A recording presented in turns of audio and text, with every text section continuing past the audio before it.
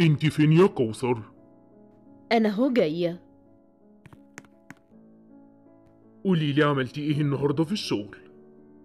أنا راجعة ظهري تعبني قوي كان يوم صعب بصراحة. ليه بس احكي لي إيه اللي حصل؟ أنا مسحت استلام العمارة النهاردة واتبهدلت وأكتر من مرة كنت هقع والله بس ربنا ستر. سلامتك ألف سلامة أمال فين العيال؟ لسه نايمين من شوية. أنا بصراحة عايز اقولك على حاجة بس مش عارف أقولها لك إزاي. خير في إيه؟ اتكلم يا مدحت. بصراحة كده البنت اللي انت حامل فيها دي أنا مش هقدر على مصاريفها. طب هنعمل إيه طيب؟ ما أنت شايف أهو الحال بشتغل على قد ما أقدر. يا دوب اللي أنت بتجيبه على اللي أنا بجيبه بناكل وبنشرب بيه أنا والعيال. ده إحنا حتى مش عارفين ندخلهم مدارس. بصي أنا في حاجة عايز أفتحك فيها. طيب قول واتكلم. بصراحة كده أنا معروضة عليا حاجة. لو عملناها هنكسب فلوس كتير أوي. تعيشنا مرتاحين طول العمر ونقدر نصرف بيها على العيال كمان. طيب قول إيه هي؟ إحنا ممكن نبيع البنت لما تتولد لعيلة غنية أوي هيصرفوا عليها وهتعيش مرتاحة وهم نفسهم يخلفوا لكن للأسف ما ينفعش. هم عرضوا عليا إنهم يدوني خمسة مليون جنيه مقابل الموضوع ده. يعني هنقدر نعيش بيهم مرتاحين طول العمر. ونقدر كمان نحطهم في البنك. يجيبوا لنا أرباح ونصرف منها على عيالنا ونعيش وما نشغلش بالنا أبدا ولا نتعب نفسنا. إيه اللي أنت بتقوله ده؟ أنت إزاي تفكر في كده؟ أنا عمري ما بيع ضنايا ابدا. هو أنت مفكرة إن هي لو جت هنعرف أصلا نأكلها ولا نشربها؟ إحنا كده بنأمن لها مستقبلها. وكمان بنأمن مستقبل عيالنا دي هتعيش عيشة ما كانتش تحلم بيها. لو بتحب عيالك صحيح لازم تسمعي كلامي. الموضوع ده صعب عليا قوي ما أقدرش اتحمل ان أنا اخلف بنتي واديها لحد تاني تبقى امها غيري. ما تفكريش في الموضوع كده فكري ان انت هتديها لحد يهتم بيها ويراعيها أكتر منك كمان.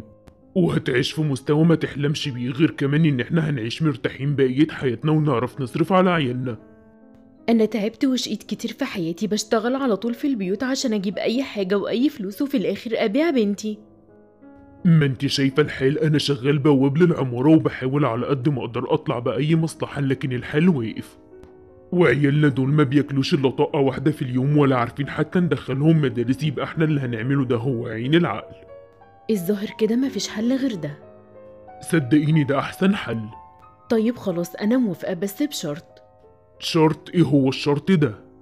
أشتغل خدامة عند الناس دي علشان أشوف بنتي كل يوم واطمن عليها. خلاص تمام مفيش مشكلة.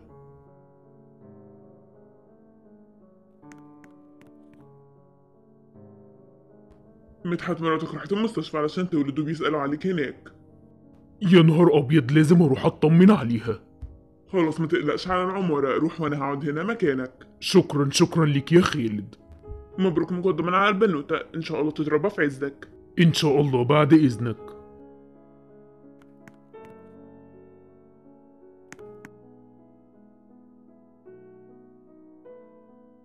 الحمد لله على السلامة يا مدام كوثر البنت الحمد لله بخير وكويسة هو فين مدحت فين جوزي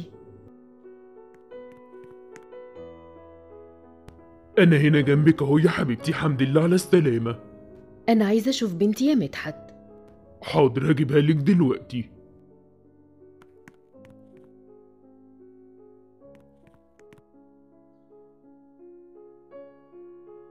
ما شاء الله دي حلوة قوي. مدحت علشان خاطري خليها معايا شوية. أنا مش عايزة أديها لحد دلوقتي.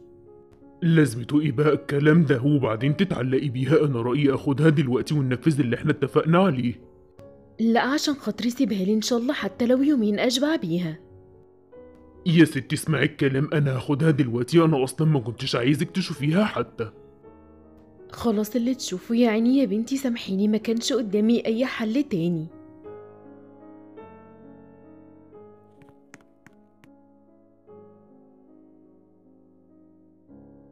هو مدحت اتأخر كده ليه يا عماد؟ مش قال إن هو هيجيب النونو النهاردة.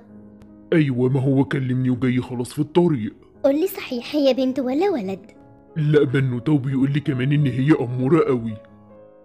كان نفسي قوي أخلف بنتي بس ربنا ما أردش على العموم. أنا هحطها في عينيا وهعتبرها زي بنتي بالظبط.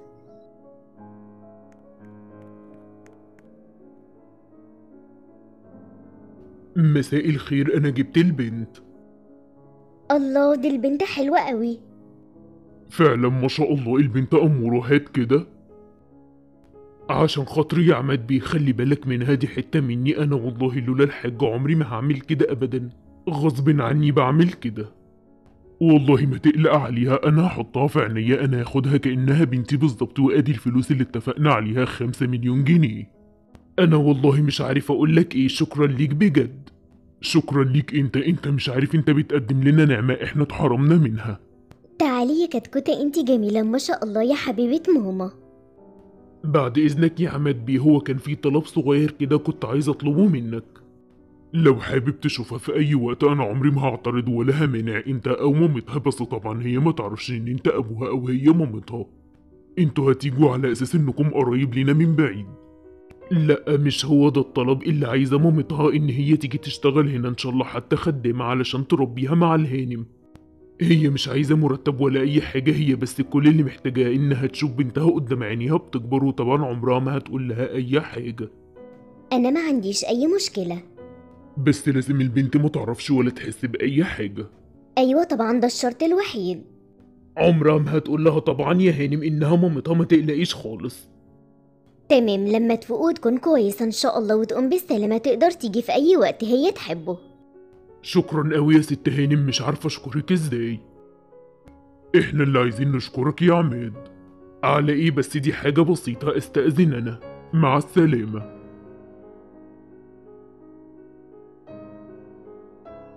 شفت يا ستي؟ أديني جبت لك أهو الشيك أخيرا. هنبقى من الأغنياء ونعرف نصرف على عيالنا. أنا قلت لهم إن انت عايزة تشتغلي وست هانم ما اعترضتش. طيب هو أنا أقدر أروح لهم من إمتى؟ أول بس ما تفوقي روحي على طول. هي ما عندهاش أي اعتراض. أنا هروح بكرة. أنا مش قادرة أستنى لحد ما أبقى كويسة. بس انت لسه والدة ما بقالكيش كام ساعة. انت أكيد بتهزري. قلبي واكلني على ضنايا قوي. إزاي أسيبها كده من غير ما أشوفها؟ يا ستي لما تبقي كويسة بقى روحي شوفيها زي ما انت عايزة. معرفش ليه قلبي متاخد ومخضوضة قوي على البنت حاسة إن هي يحصل لها حاجة.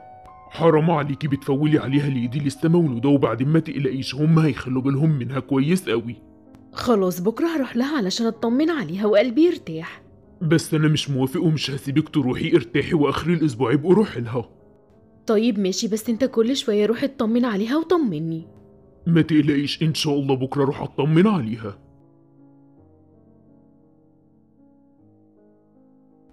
أهلا أهلا يا مدحت إزيك؟ في حاجة ولا إيه؟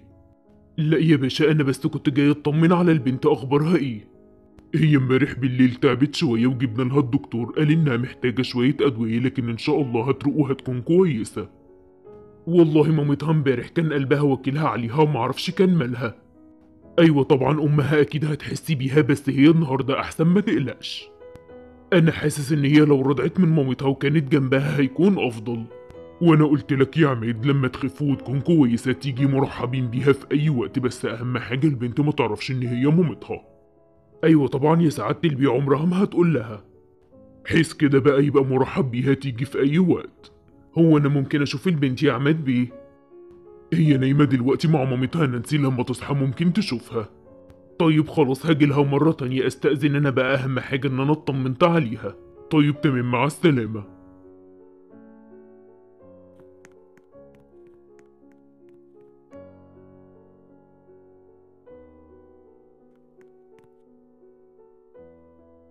هو أنت كنت بتتكلم مع مين تحت؟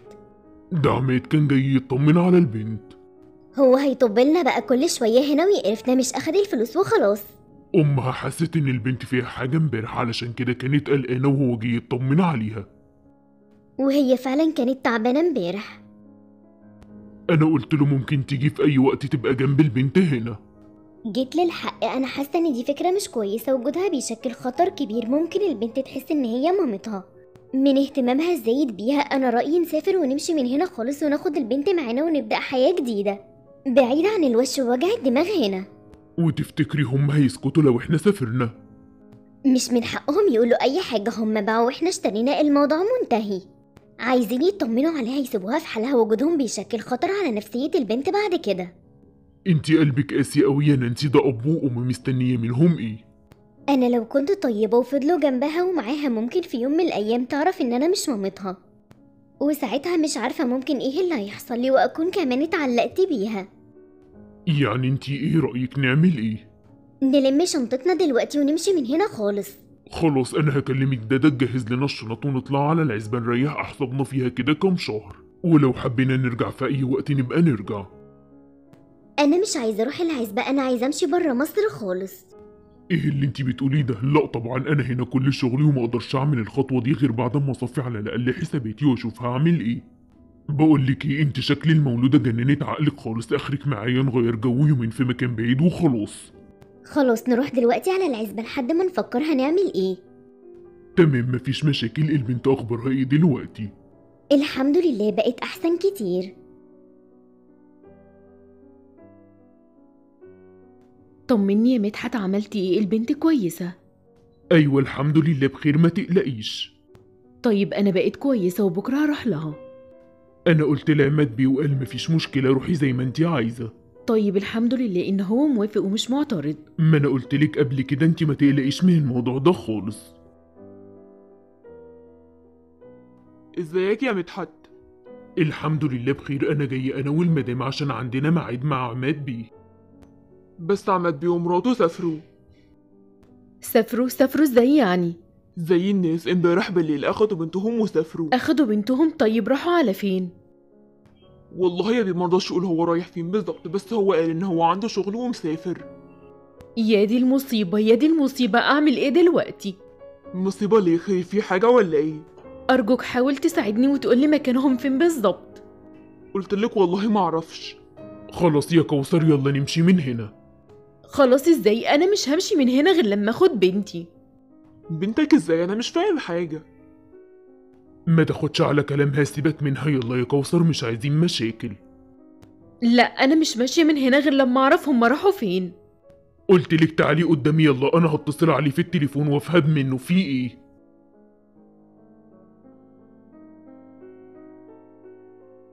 هو ده اتفاقنا يا عماد بيه؟ مش أنا قلت لك إن المدام هتيجي بكرة أنت سافرت ورحت فين؟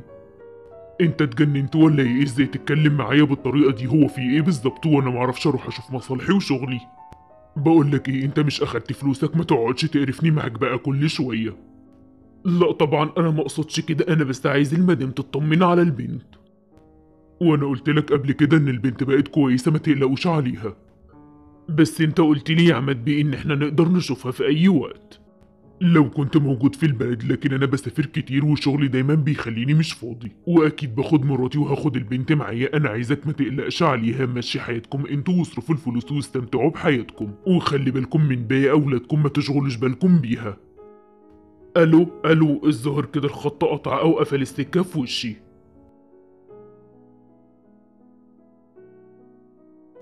أنا قلت لك أنا قلت لك من الأول مش مطمنة للموضوع ده. يا ريتني ما سمعت كلامك. خلاص بقى انسي كل اللي حصل. إحنا دلوقتي اطمنا عليها. هي هتكون عايشة مع عيلة غنية وهتكون سعيدة. وإحنا كمان بالفلوس اللي إحنا بعناها بيها نقدر نربي عيالنا ونهتم بيهم.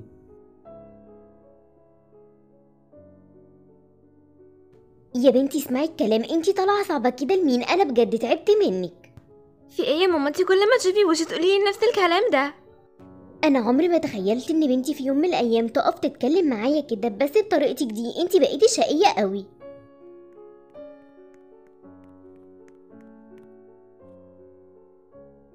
في إيه يا نانسي؟ مالك صوتك عالي كده ليه؟ البنت دي مخها ناشف قوي وصعبه قوي أنا ما عدتش عارفة أتعامل معاها. طيب روقي كده وانت يا مريم يا حبيبتي اطلعي على أوضتك.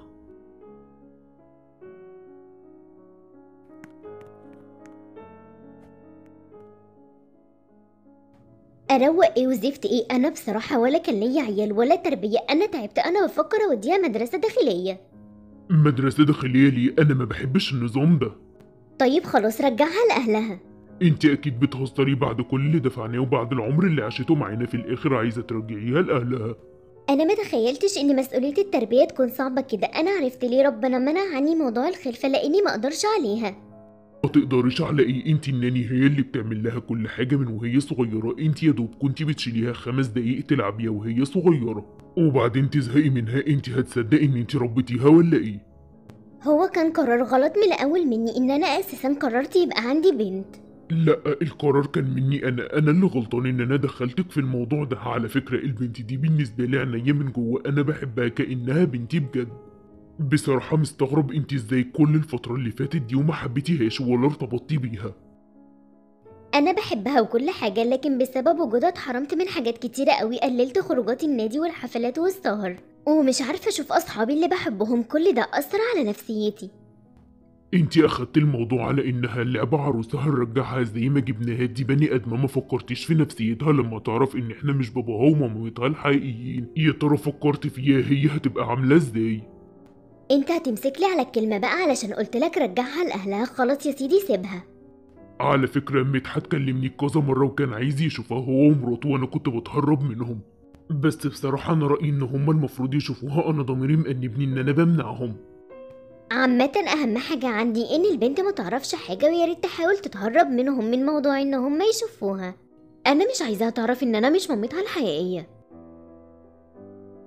ألو أيوه يا عماد بيه حضرتك رجعت بالسلامة أنت والمدام. أيوه أنا موجود في الفيلا بتاعتي. أنا مراتي كوثر تعبانة قوي والدكتور قال إن هي فاضل لها وقت قليل وتموت وكان نفسها تشوف البنت قبل ما تموت.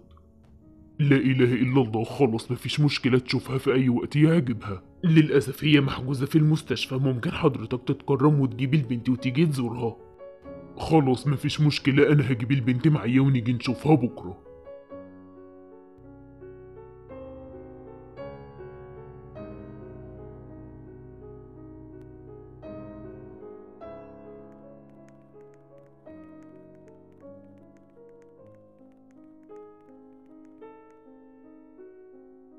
إيه النور ده كله؟ أهلا وسهلا. اتفضل يا عماد بيه دي بنتك الأمورة. ما شاء الله. حلوة قوي إزيك يا حبيبتي؟ الحمد لله بخير. أهلا يا عمو بابا قال لي إن أنت وهو صحاب من زمان ودلوقتي قال لي إن مرات حضرتك تعبانة عشان كده جايين نزورها. أيوه فعلا. تعالوا اتفضلوا. يا عيني هي دي. ألف سلامة. هي مين الأمورة دي؟ أنت نسيتي ولا إيه؟ دي بنت عماد بيه. ما شاء الله انتي بقيتي حلوة قوي كبرتي يا حبيبتي ممكن أحضنك. أيوه طبعا. سلامتك يا طنط. الله يسلمك يا حبيبتي. شكرا على الزيارة الكريمة دي أنا مش مصدق إن أنتوا وافقتوا وجيتوا. برضو يا عماد عملت اللي في دماغك وجيت هنا أنا قلت لك بلاش. إحنا جايين نزور مرات صاحبي في إيه؟ هو أنت بتضحك عليا ولا على نفسك؟ في إيه يا نانسي؟ انت إيه اللي جابك ورايا وجاية متعصبة كده ليه؟ مريم يا حبيبتي انت بنتي انت سامعاني أنا اللي ربيتك في إيه يا ماما؟ أنا مش فاهمة حاجة. مفيش حاجة يا حبيبتي يلا نمشي من هنا. لا يا بابا أنا مستغربة في حاجة غريبة بتحصل هنا. أنتوا عاوزين تفهموني الحقيقة. أنا هقولك يا حبيبتي على كل حاجة. انتي في الحقيقة بنتي وأنا مامتك للأسف إحنا كنا فقراء زمان ومش معانا أي فلوس. واضطرينا إن إحنا نبيعك لعماد بيه ونانسي هانم كأنك بنتهم ومن ساعتها والله وأنا تعبانة والمرض اتمكن مني. وكل ده بسبب زعلي لحد ما في الآخر زي ما انتي شايفة كده الدكاترة قالوا لي مفيش أمل وهتموتي. إزاي تقولي الكلام ده؟ حرام عليكوا وانتوا وانتوا أكيد بتكدبوا وانتي إزاي تعملي فيا كده؟ ده انتي أمي.